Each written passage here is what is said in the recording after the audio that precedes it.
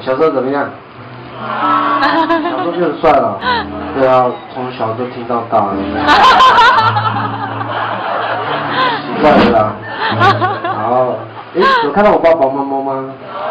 就你不觉得我爸爸很像杨佑宁？原生米的杨佑宁啊，超帅的。然后我妈妈很像越南新娘。然后杨佑宁跟越南新娘的混血就是我，然后很酷。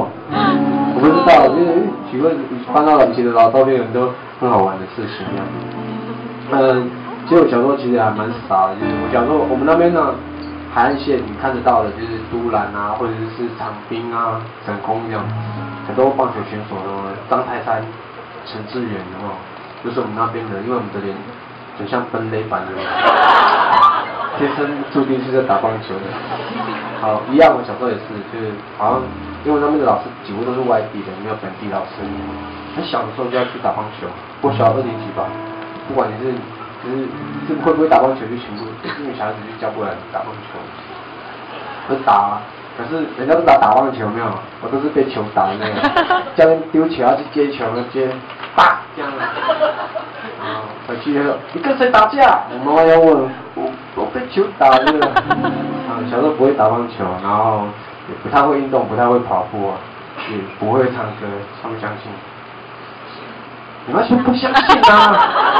相信。你真的相信我不会唱歌哦？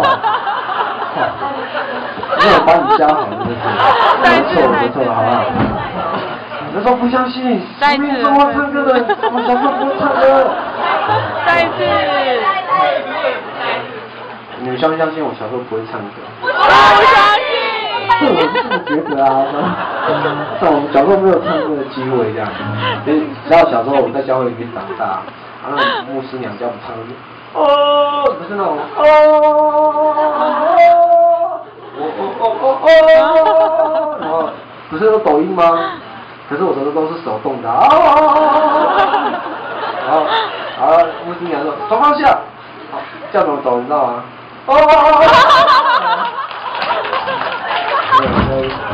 我又不会唱歌，又不会那种唱歌方式，就真的抓不到诀窍，他常常被骂。可是我就。